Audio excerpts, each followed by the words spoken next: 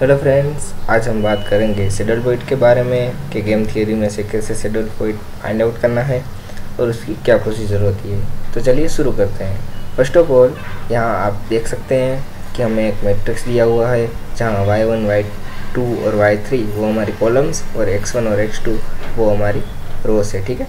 तो चलिए शुरू करते हैं। तो फ़र्स्ट ऑफ़ ऑल हमें यहाँ रो ऑपरेशन करना है। रो ऑपरेशन में क्या करना है हमें?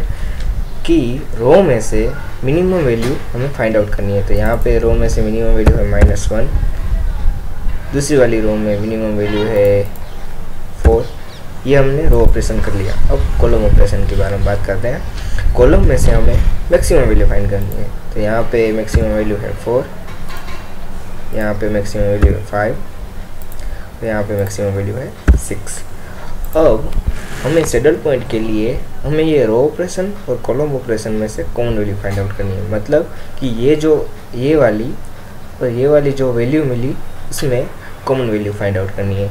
सो so, जब हम कॉमन वैल्यू फाइंड आउट करेंगे तो वो हमारा क्या होगा? वो हमारा सेडल पॉइंट होगा। So saddle point is equal to होगा हमारा फोर इस सेडल पॉइंट को हम वैल्यू ऑफ़ गेम भी कह सकते हैं। ठीक है? अब जब हमें सेडल पॉइंट मिलता है तो उसे हम स्टेबल गेम बोलेंगे। और जिस प्रॉब्लम में हमें सेडल पॉइंट नहीं मिलता, उसे हम अनस्टेबल गेम कहेंगे। So thank you for watching